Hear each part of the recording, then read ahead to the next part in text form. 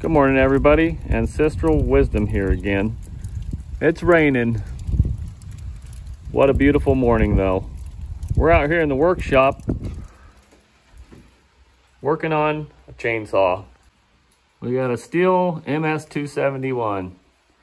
We're going to do some maintenance on this thing here this morning, so stay tuned. Here's the latest project and why the saw is in need of a tune-up. Got a piece of English walnut here. I've started carving it into a bowl.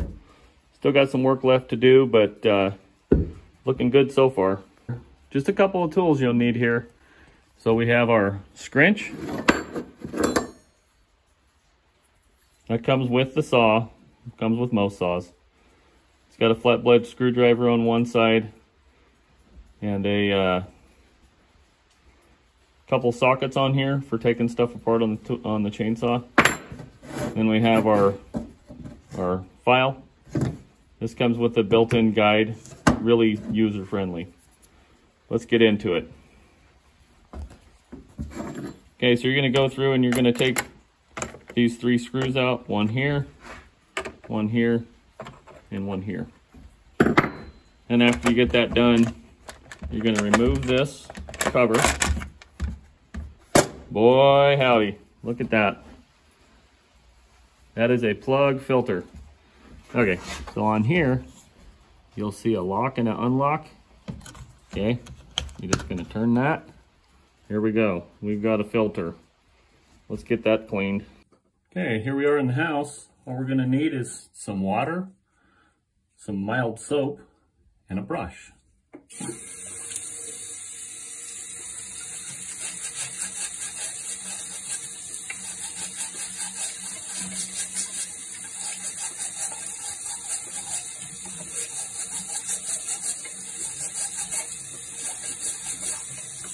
Looking better already. Now I know a lot of guys, they use gas, and uh, that's, that's actually how my dad always did it too, but most of the time we were, we were out there in the woods cutting trees and you kind of use what you have on hand. Um, but gas is going to be more corrosive on your filter. And uh, I just put some soap on here I'm just gonna kind of work it in. You can kind of see some of that dirty water coming off of there now. So you look at that. And we'll, we'll turn the water off. We'll throw some more soap on here. Kind of spread it around. And we'll, now we'll scrub it with the brush.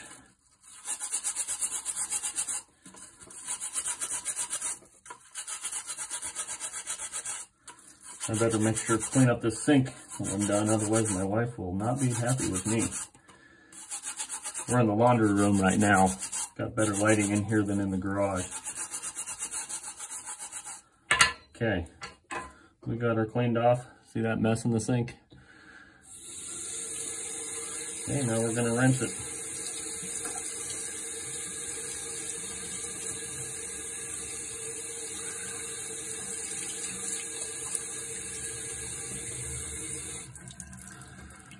Okay, we're gonna clean that up and we'll get back to the rest of this here in a second. Went ahead and put that air filter by the wood stove to dry off the rest of the way. You can dry it with compressed air, but I went ahead and opted to do that so I can get the rest of this video shot. Next, we're gonna sharpen this chain. Here's the tools you're gonna need. You can use just a regular old round file if you want, um, but this one's pretty easy. It's got a guide on there. Um, it's got even a pictogram that shows you which direction to go, and it's pretty sweet. Here's a raker file, so we can file down the rakers. So this is an 81 tooth chain. There's a couple different ways you can do this to keep track of where you're at. The easiest way really is to uh, just paint the The easiest way that you can do it is just to paint the tooth that you're starting on. So we're just going to use this paint from this paint marker. Nothing special. Uh, one of these Markal valve action paint markers. We use them in the steel industry a lot. Um, they dry quick and they don't rinse off. Really easy to use. So you can either do that or you can count to 81 while you do it. Let's get into it. Okay, so you see the arrow. The arrow pointing that direction. Over here you got the pictogram of the saw with the chain.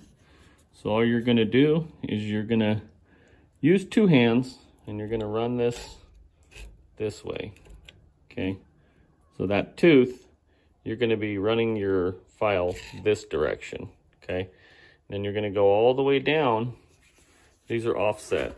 So you got, you're gonna sharpen this one, then you're gonna sharpen that one, that one, so on and so forth.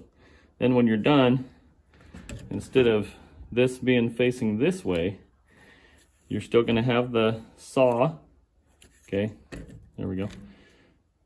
Saw is back here, direction is this way, so then you're gonna focus on these teeth right here, and you're gonna run this, this direction. Once you get all the teeth sharpened, then we'll move on to the rakers, and I'll show you how to do that. And we're right back where we started here. There's our painted tooth. You'll see how these are nice and clean. They're freshly sharpened. We want to make sure to hit each one evenly. I did four strokes on each one. We went down the whole entire length of that chain, rolled it around a couple different times so that we could get every tooth. We have our air filter back now. It's nice and dry. We'll go ahead and reinstall that. We're gonna check our raker height as well. Now, for those of you that don't know, you've got a couple different teeth here. This is your cutting tooth, okay? And this, right here, is your raker. You want that raker to be below the cutting surface. Okay, so if we look at this, Let's see if we can get it focused here. It looks like it's just about right, right where it's at. Um, the further these are down, the more wood you're gonna take out.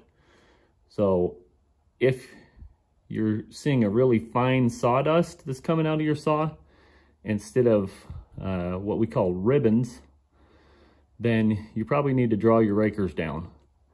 If your saw is bucking and grabbing really hard, you're pro you probably took them down too far. So it's better to be on the safe side and just draw them down a little bit at a time. You just want to be just below this tooth here. I don't think we're going to draw the rakers down all the way. Actually, you know what? I'll just show you how to do it real quick. It's real easy. You take your raker file, and it's the same type of process. You're just going to draw it across there an even amount of times. So we'll just do two on each one and we'll start on our painted one. So we'll draw them down two strokes on each raker and then we'll do the rest of our tune-up and then we'll go out and we'll start this thing up and we'll see how she works. Okay, we're back to that white tooth again. We've got a straight edge on here. I've just got it from that tooth to that tooth. Those are on the same plane. Those are the same side of tooth. You've got your lefts and your rights. So we have these two teeth. You've got some gap in there, which means we're gonna be cutting. So we're looking good. We want to make sure that we have everything evenly sharpened. We want our rakers to be evenly brought down and we want to sharpen each tooth equally. And one thing I forgot to mention, always when you're sharpening a chainsaw, you want to make sure your chain brake is on because otherwise when you're sharpening, this can move forward on you. So just make sure that you set that, okay?